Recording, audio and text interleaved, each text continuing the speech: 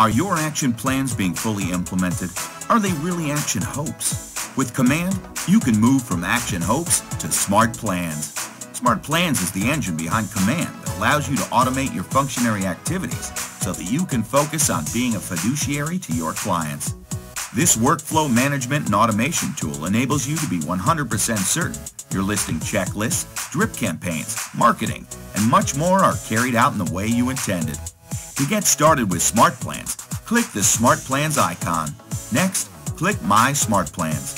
When you first open the page, it'll be blank and ready for you to select or create a smart plan.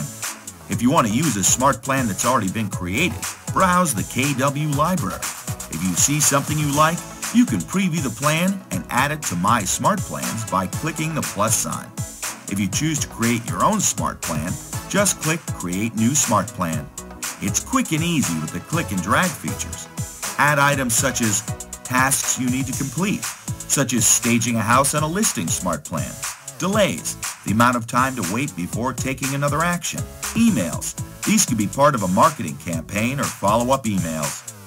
Watch for additional items to be added as they move through the lab's process. If you're on a team, your smart plans are immediately shared in the exclusive team library. And since command tools are integrated, smart plan activities are automatically associated and accessible from the relevant contact. For example, if you use Smart Plans to send personalized happy birthday emails, you'll also find those emails on that contact's activities. Once you've activated a Smart Plan, you can go back to the dashboard to view My Analytics.